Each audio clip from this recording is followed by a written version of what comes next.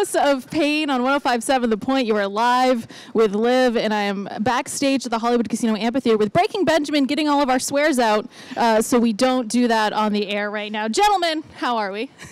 We're good. great. Great. It's good to be Good, here. good. Thank you so much for taking the time to be here. And I'm going to start off by saying something I said to Brent Smith a couple years ago, a couple days ago of Shinedown. I'm a fan before, you know, being a DJ and having a cool job. And I'm sure you guys can relate to that too, that you're a fan first with so many of these acts. What does it mean for you guys to be out on the road with Bush and Alice in Chains?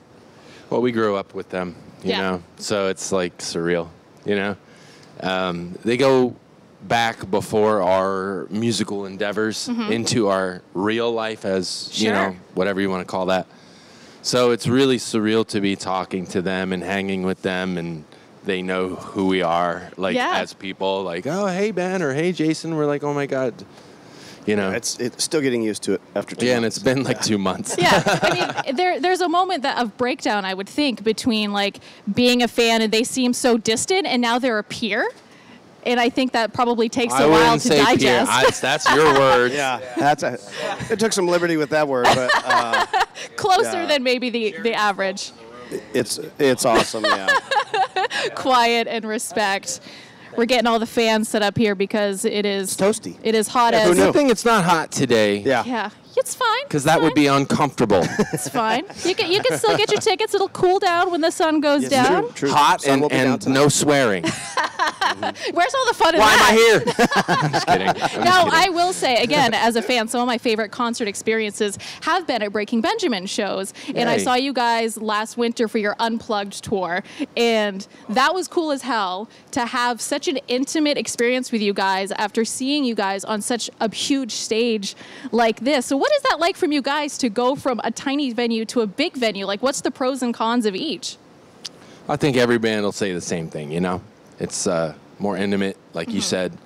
And then this is just like, who wouldn't want this, you know? So it's totally different animals, but they Yeah. both have their allure, and we like to do it all. And we like to play acoustic because it's like bare bones and, and uh, what do you call it? Uh, it it's I mean, it's more raw. stripped down. Yeah, Yeah. exactly. Yeah, Raw. it It's really something we enjoy doing. We get to kind of be ourselves a little bit more. There's not as much of the pressures with productions and time frames and budgets and. It's more like that. hanging out. It really, that's how it felt as somebody that was at a show. I remember, I think, Ben, you were like, I got to take a piss. You walked off stage, and then you guys just Yep. busted into Hunger Strike. when That you gotta go, you gotta go.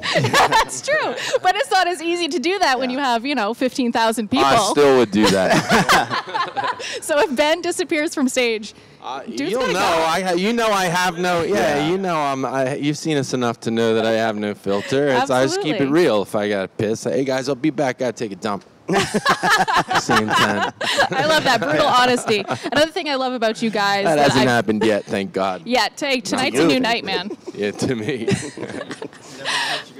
No. I, another thing that I really love that I've seen you guys do and a handful of other bands do is, and I know you don't do this at every show, so if you're coming tonight, do not expect this, is halfway through the show, you'll just start bringing kids on stage. Now, what, what goes into that? Why, why is that something you guys do?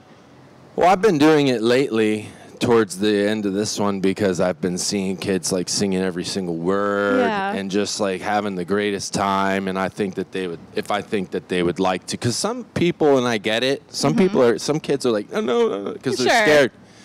But I can tell the ones that are super like into it and want to, and those are the ones that I like to, you know, if they want to, they can. That's type thing. amazing. Yeah. And that's something you'll remember forever. Exactly, and and they're already singing every word. They're already like with us, you know. So might as well be with us. Yeah, That's incredible. And it's a spontaneous thing. It's not something that. Yeah, I don't really plan it anymore. It's all I I didn't really plan it before. It just the mood strikes me. I Sure. just yeah, every show is a mood feeling thing. I don't like to be a machine of just like Sure. repeating the same thing all the time. Sure, that's one thing you get with a Breaking Benjamin show. You get authenticity. Definitely you're good or bad. Thank you. Good Or bad. hey, you got to take the good with the bad. Yep. Now, looking forward, uh, plans for the future, uh, new music in the works. Anything that you can tell me? We're always working, Okay. so it's not like we're not working. Okay. We're always working. Okay. Uh, but there's a lot of moving pieces too. I, I Yeah, think it's safe have- to say. I have a.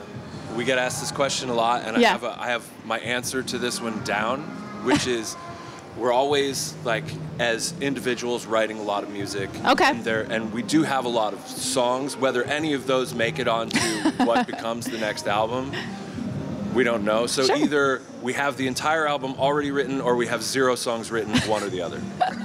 Yeah. I love that. And That's a good way any to put it. collaborations planned? I know you guys have a really incredible history of teaming up, uh, especially with female artists. Uh, that with Diamante doing Iris, Lacey, Valora.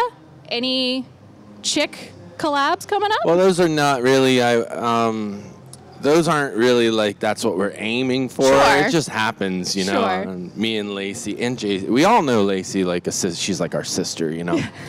so that's like a, that's something that's been years and years and years. Mm-hmm. But I wouldn't say that I couldn't. I couldn't say yes or no because, like I said, it's not like female specific. Sure, it just sure. happens that way. Yeah, I love that. And you guys, you have such a great sound contrasting with a female voice. So I think that's something that, that always sounds good when you guys put it out.